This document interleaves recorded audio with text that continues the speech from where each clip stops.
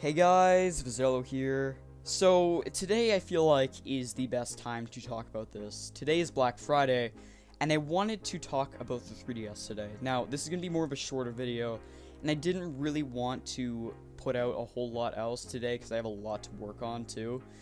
And I just, I wanted to talk about something meaning, just something that actually held meaning in late 2018 and that is really just I wanted to talk about the 3DS, and I feel like for a lot of people, they may not even be considering this console, but it does hold value in 2018, and I want to talk about it. So this is not going to be a review, this is just going to be a discussion of me just talking about the 3DS, and if you should pick one up in late 2018.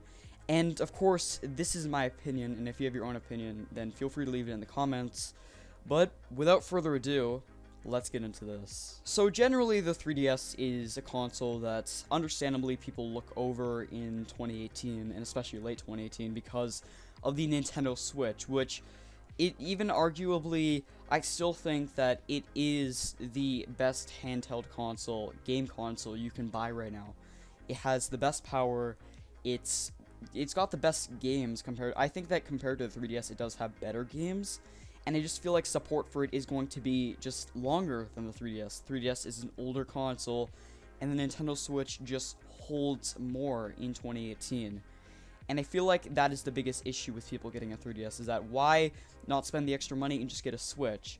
But if you are, if you just the Switch is out of the question and you just you want a 3DS, and there are three models you can pick up today, four if you count the new 3DS, but I'm gonna get into that later. So I'm just going to be going over all four of them and if you should pick them up. So starting off with the new 3DS XL. This is a console that is actually the only 3DS still being sold new today because it actually has a 3D tech. Now, if I'm being honest, the 3D tech is not that important to me, and it kind of makes sense why it's the only actual 3DS being sold today, because the 3D, like the 3D feature, while kind of kind of cool, is not really that important. Now, if you do want the 3D feature, obviously this is the only 3DS you can get right now being sold new off the shelf.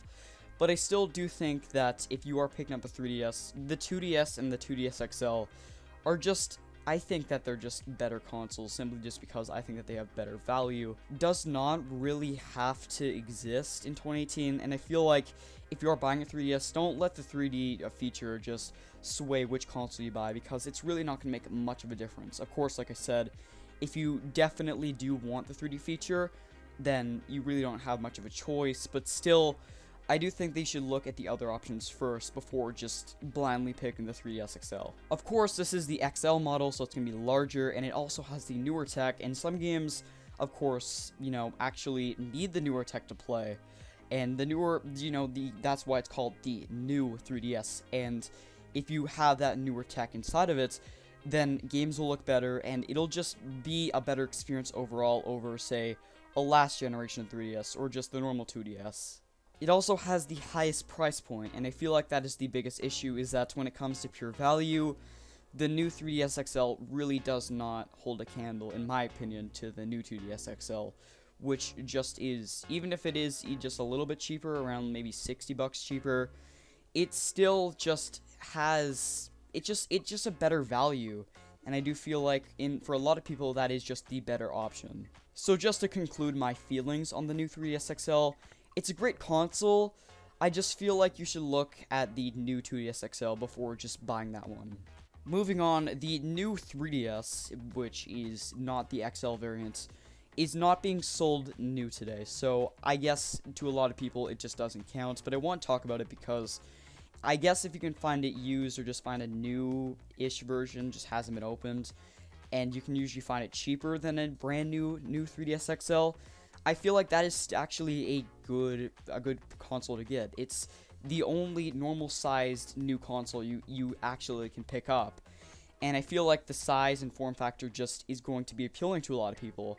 And of course, it does have the newer technology inside of it. So, of course, it is still a 3DS, but I do feel like if you are buying a console or just a 3DS in 2018, the new 3DS, the non-XL variant, is still a good option. Of course, you do have to do some digging, and of course, it didn't really come to North America.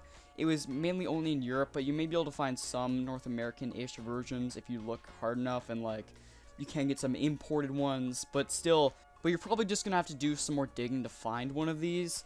But in my opinion, I think it's worth it because I really like the form factor. So next on the list is the new 2DS XL.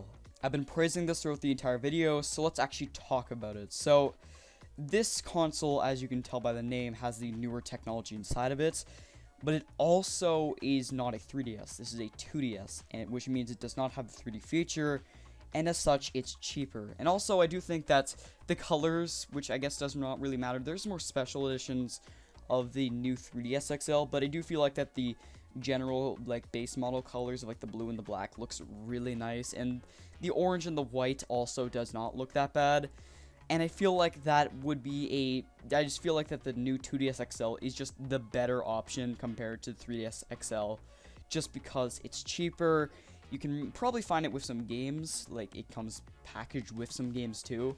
But of course when it does come to pure value the 2DS has the most value because it, it comes in at under a hundred dollars and you can find you can find it like bundled with a game which is really impressive.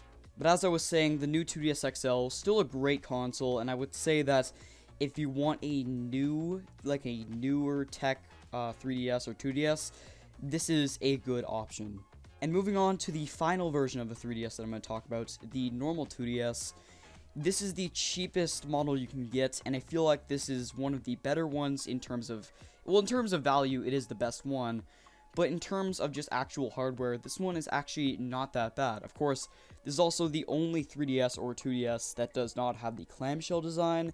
It's actually just like a flat little, like, I, yeah, I don't really know how to describe it. It's kind of like a little, like, slanted brick, I guess, to describe it. And it doesn't look that comfortable, but from what I've heard, it actually isn't that bad. And I would say that if you just want to get a game console for anyone, or if you just want a cheaper one in 2018, this is a great option. And out of all the models here, I would say that if I were just recommending this to anyone, just someone I didn't know, I would recommend this one to them just because it's the cheapest, and it's actually not that bad of a console on its own. So, those are the four 3DS models you can buy in late 2018, and if I'm being honest, I would recommend the 2DS and the new 2DS XL. And if you have the extra money, if you want to and you want the 3D feature, then feel free to go for the new 3DS XL. And if you want the form factor, then the new 3DS, even though you can't get it off the shelves. I do feel like between all of them, I would probably for myself buy the new 2DS XL. But, you know, the new 3DS XL, I've been bashing it a lot in this video, but it's a great console. Like, it's actually a really, really good console, and I would say that for a lot of people, that would be a great and like a really ideal choice because then you also just have the option of the 3D feature. But for most people, I would say that it's just cheaper to get a new 2DS. Sadly, the Switch exists, and if you're buying a 3DS, you have to keep in mind that you could just spend the extra money to just get a Switch, and the Switch is just a better, it's just a better console, and in my opinion, I feel like if you have the money, just shoot for the skies and just go for the Switch. But of course, that is my opinion, and I hope you enjoyed this video. If you did, make sure to leave your thoughts in the comments, and as always, see you.